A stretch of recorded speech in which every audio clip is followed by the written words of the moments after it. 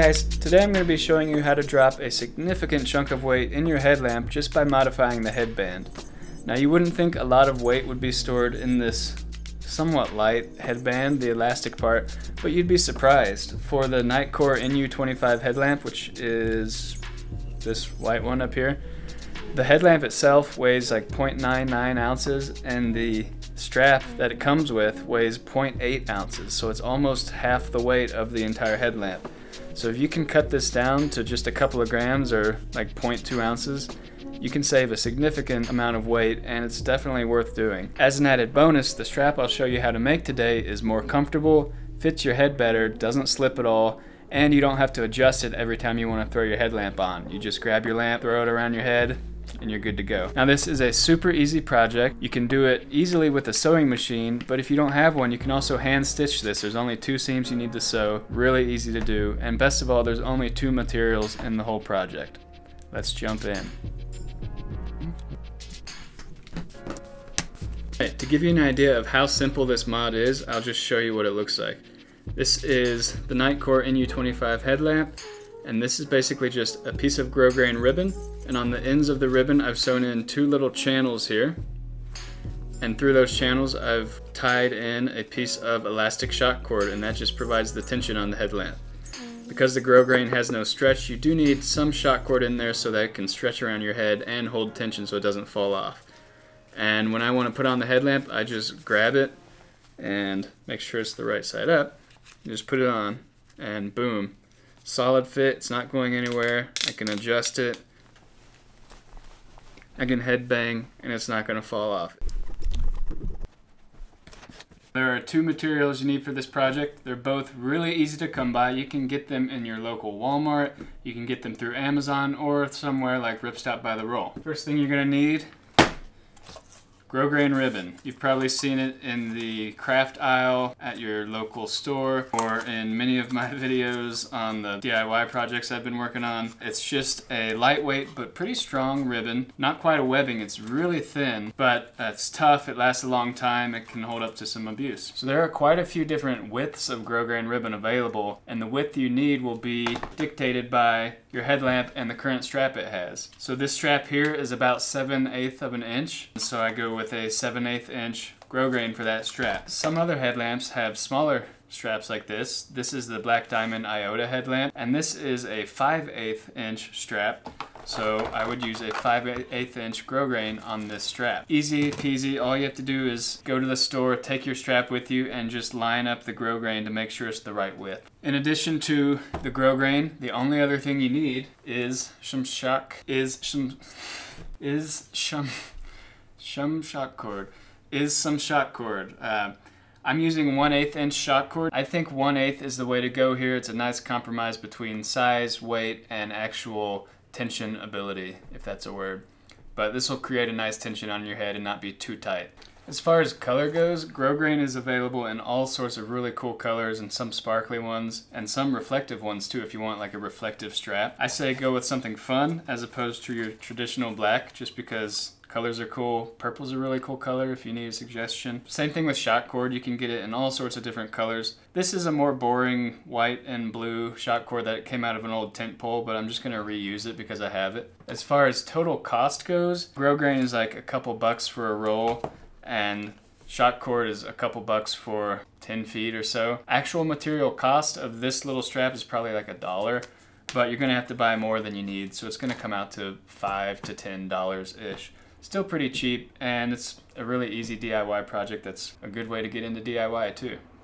So I'm going to be making a strap for this Black Diamond Iota today. And like I said, first step is kind of measuring this strap to see how wide of a grosgrain you need. I know that it's about 5 8 so I've pulled out my 5 8 inch grosgrain. And you can see it's not quite the same width, but it's close enough on this strap that it's not going to have too much wiggle room. And now what we need to do is actually find our head circumference. Now that can be done the complicated way with, and it's really not complicated, but the with the tape measure. But if you don't have a soft measuring tape, you can just do it the old-fashioned way and the easier way, in my opinion. First thing you'll do is make sure you have a really straight cut on the end of the grosgrain.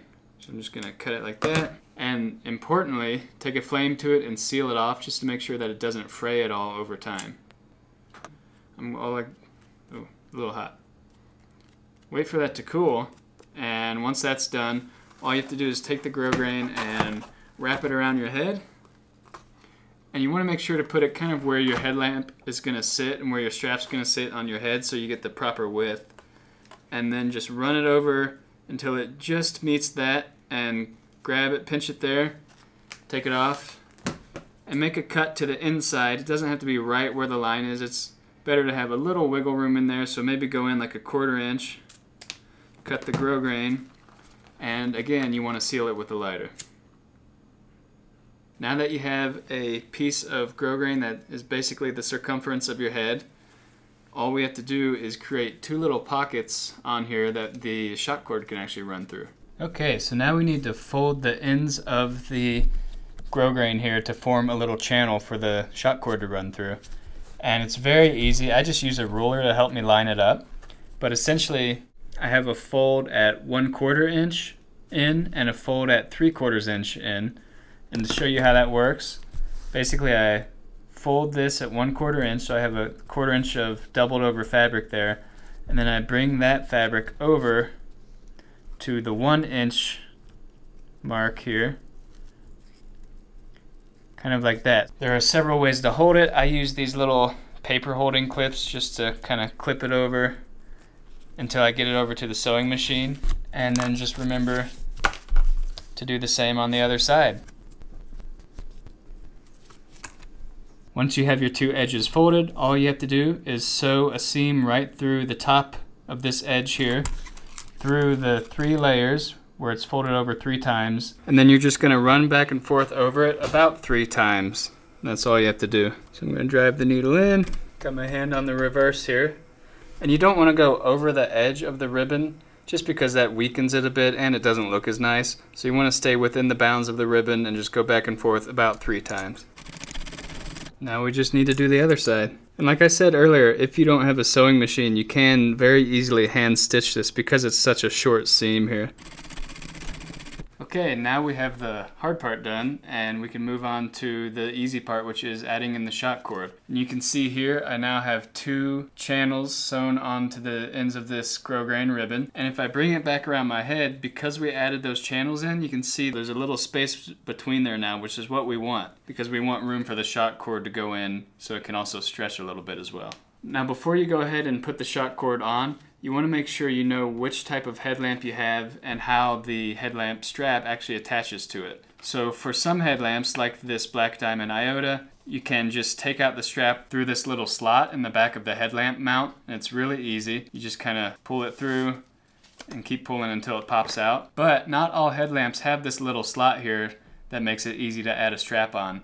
So you may actually have to thread this strap through the headlamp first and then add on the shock cord. One example of that is the Petzl Tikka XP2 which is an old headlamp now but a lot of Petzl headlamps still don't have this slot to allow you to just throw on any old strap. So what you'll have to do is remove this strap, feed the new one through and then add on the shock cord. Now this step is also laughably easy.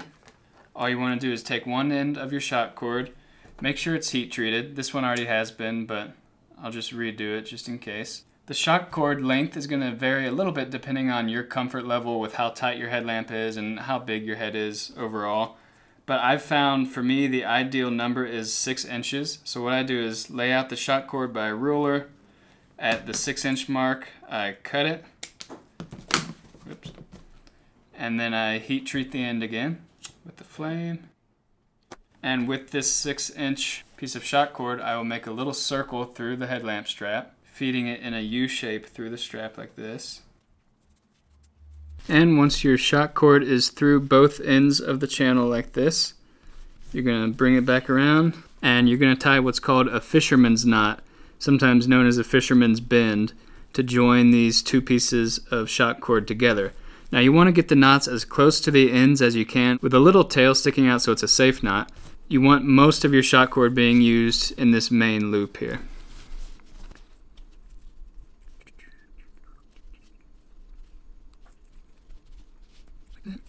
then you do the same on the other side.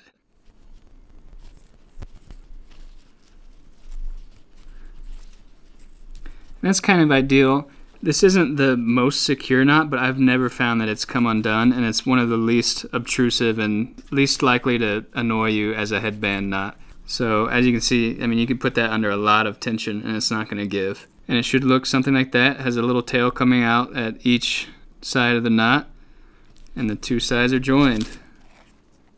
Only thing left to do is just reattach the headlamp to the strap. Now one thing I kept trying to do when reattaching my strap is go from the back side and put the, the ribbon on the inside kind of like that through the headlamp.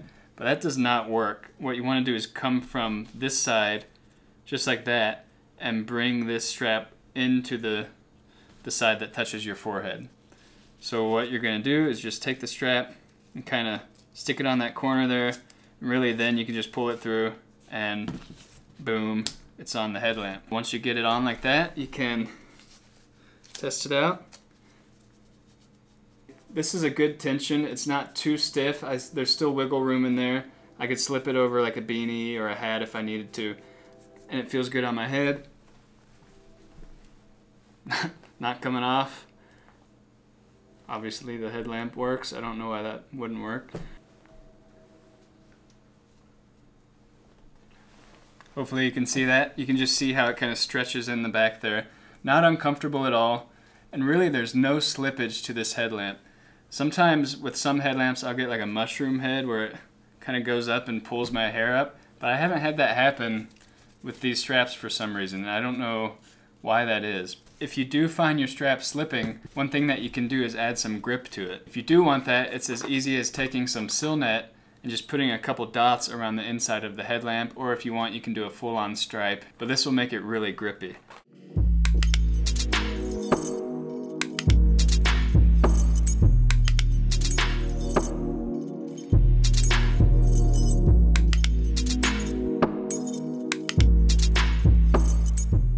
As of a few days ago on my website, I just put up a master list of all of the cottage companies around the world it is a work in progress, but as of now I have about 78 on the list. And on the website you can actually go onto a Google map and scroll around the globe and find out where all of your favorite cottage companies are and hopefully discover new ones. On my Instagram page, I'm always posting all sorts of different updates from just random projects I'm working on, random hikes I'm on, and just some fun stuff too. So check it out. If you like what you see, consider subscribing to those too. Thanks for watching. I hope you learned a way to lessen your weight and have a little fun with a DIY project. See you next time.